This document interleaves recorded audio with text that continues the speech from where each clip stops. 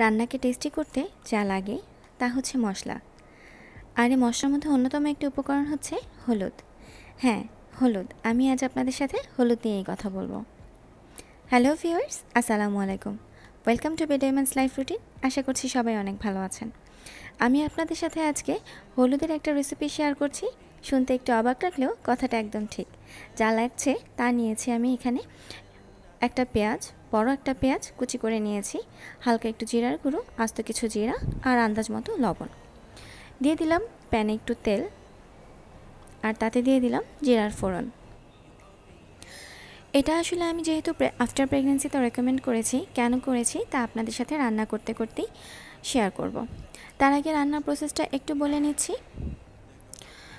ফোড়নটা একটু যখন গ্রান ছাড়বে আই মিন জিরাটা যখন একটু ভাজা গ্রান গন্ধ আসবে, তখন এখানে আমি পেঁয়াজটা দিয়ে দিব আর লবণটা দিয়ে দিব।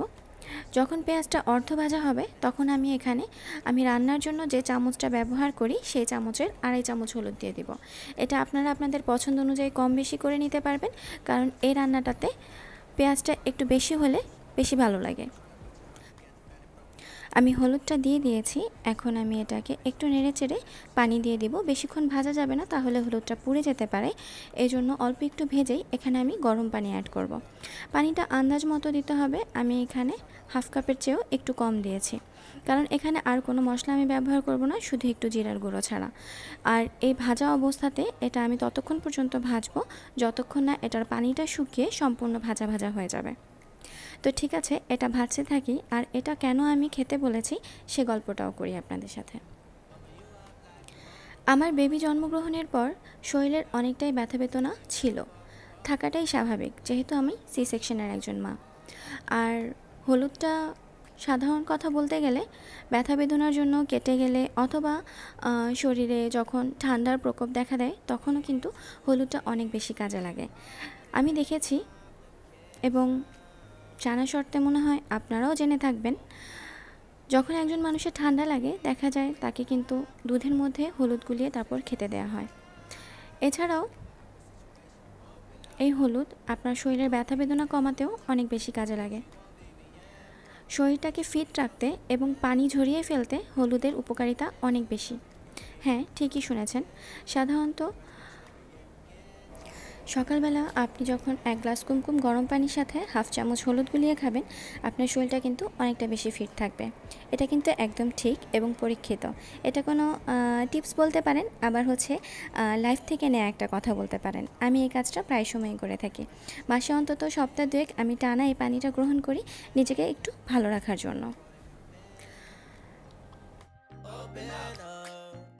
তো দেখতেই পাচ্ছেন, আমি এখানে হলুদটা কিন্তু একদম ভাজা ভাজা করে ফেলেছি আর আমার রান্নাটাও বলতে গেলে শেষ, আমি এখন চুলাটা অফ করে দিয়েছি। যারা এই খাবারটা জীবনে প্রথম খাবে, তাদের জন্য বলছি প্রথম অবস্থাতেই অনেক বেশি খেতে যাবেন না হয়তো বা আপনার কাছে ভালো নাও লাগতে পারে।